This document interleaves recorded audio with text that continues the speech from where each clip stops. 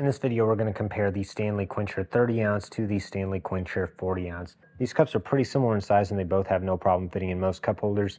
The 30 ounce one measures two and a half inches at the bottom and nine and a half inches to the top of the lid. And the 40 ounce cup measures two and seven eighths inches at the bottom and about 10 and three eighths inches to the top of that lid.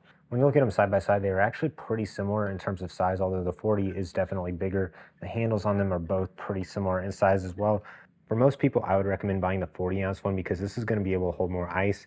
You're going to be able to keep your drink cooler for longer and you're going to have less refills because there's really not a ton of size savings on the 40 ounce one versus the 30 ounce one.